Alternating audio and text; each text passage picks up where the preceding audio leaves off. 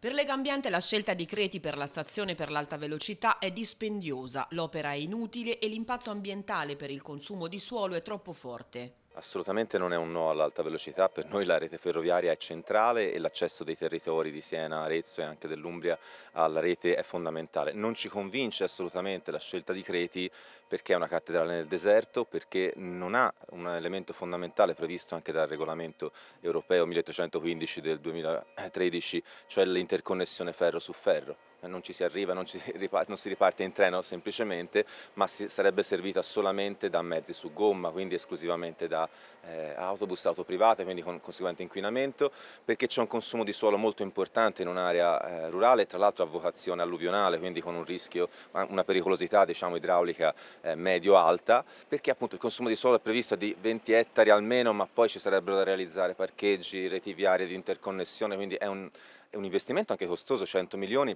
Legambiente Toscana, Umbria, i circoli sul territorio puntano invece al potenziamento del trasporto pubblico regionale, con la riqualificazione delle stazioni di Arezzo e di Chiusi. Noi proponiamo invece di eh, andare su un'opzione molto meno costosa che è la, eh, il potenziamento delle attuali stazioni di Arezzo e di Chiusi, eh, che sono già adeguate appunto alla, alle fermate di treni di alta velocità, ma che con un potenziamento, con un investimento sul sedime si possono permettere di avere più fermate dell'alta velocità, di servire meglio i territori e anche